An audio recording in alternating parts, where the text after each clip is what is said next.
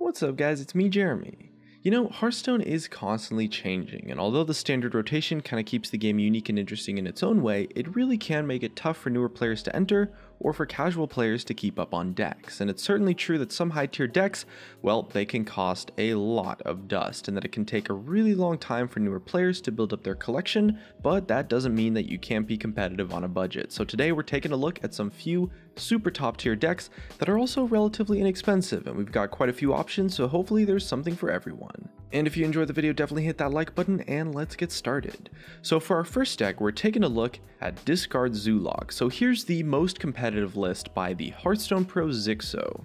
So this particular version only has a dust cost of 880, although it does require all three adventures actually.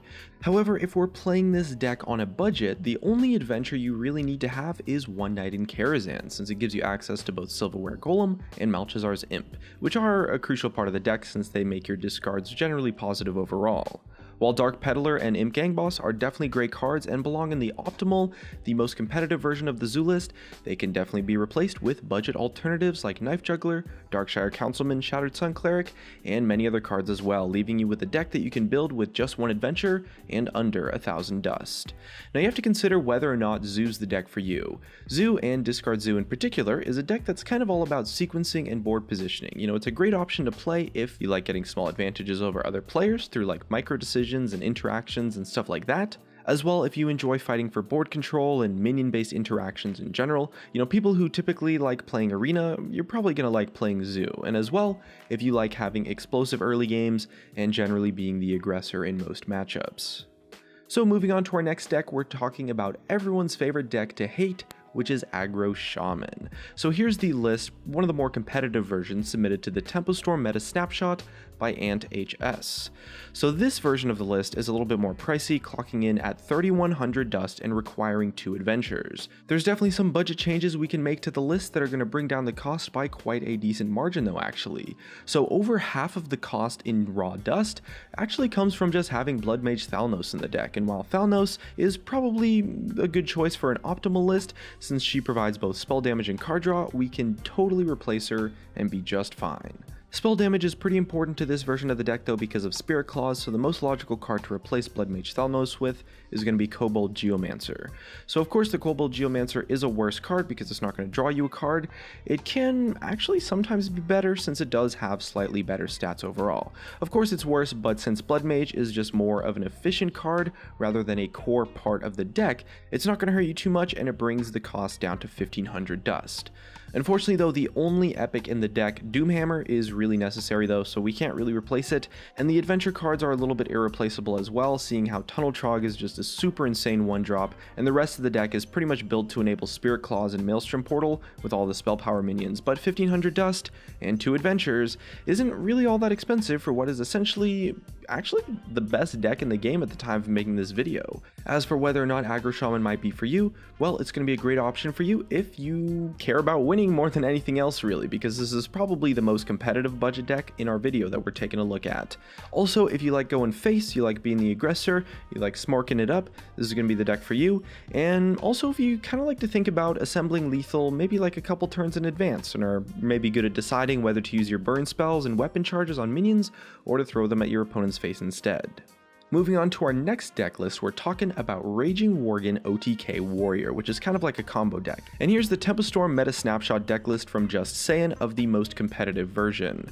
So this version, the most competitive version, actually comes in at just 1600 dust and only needs one adventure. There's really not too much we can do about budgeting this deck a little bit more though, since combo decks kind of require all of their pieces to work in the first place, and most of the cards in this list are already pretty important to the deck.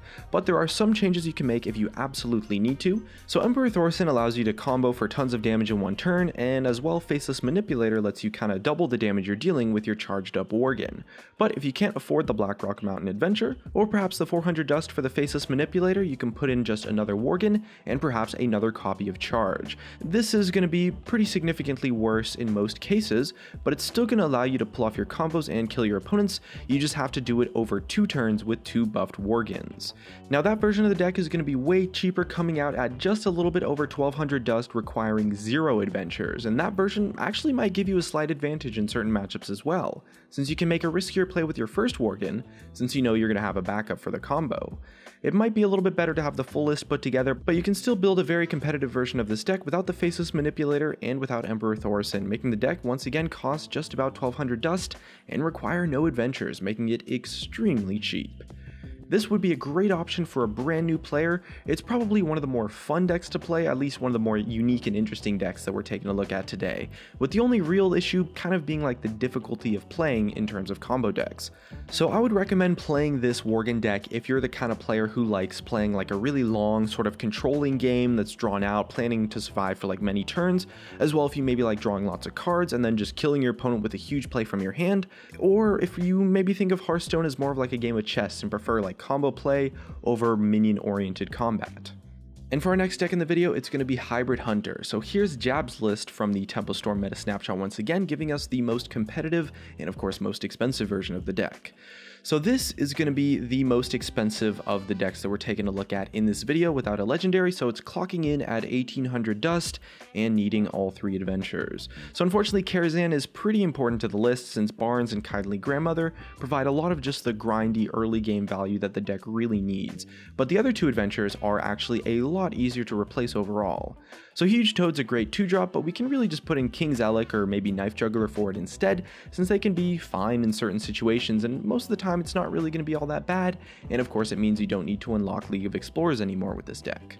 Quick shots may be a little bit harder to replace though since Hunter doesn't have as many effects like it, but some of the 2 drops we mentioned previously or perhaps another copy of Freezing or Explosive Trap generally helps fill out the deck quite nicely and removes the need for Blackrock Mountain while still keeping the deck reasonably competitive. Unfortunately though there's not too much we can do to reduce the dust cost of this deck since it's pretty much all contained in the two copies of Call of the Wild and the Savannah Highmanes, which are kind of the best cards in the deck overall, and there just aren't really that many good replacements for some of the rares as well. Overall though, 1800 dust and one adventure isn't really that high of a price to pay for a competitive deck that you can get to legend though, and so for those of you trying to see if the hunter deck might be a good option for you, it's going to be a great choice if you are the type of player who likes the flexibility of maybe an aggressive or a mid-range, kind of like a curve intensive playstyle where you're always trying to be mana efficient and all that sorts of stuff. Or maybe if you like getting huge value out of your minions and really just grinding out the board control a little bit slowly while also always having aggressive options. Or if you kind of just like casting Call of the Wild, which is one of the best cards in the game. Or if you maybe just love animals. Overall though, those are some pretty brief overviews of the budget decks as well as the non-budget versions of our budget decks that could definitely get you to Legends. So what deck would you play? Definitely let us know in the comments below and looks like that's going to be it for me. If you enjoyed the video, drop a like, subscribe if you want. Thanks for watching and I'll see you guys next time.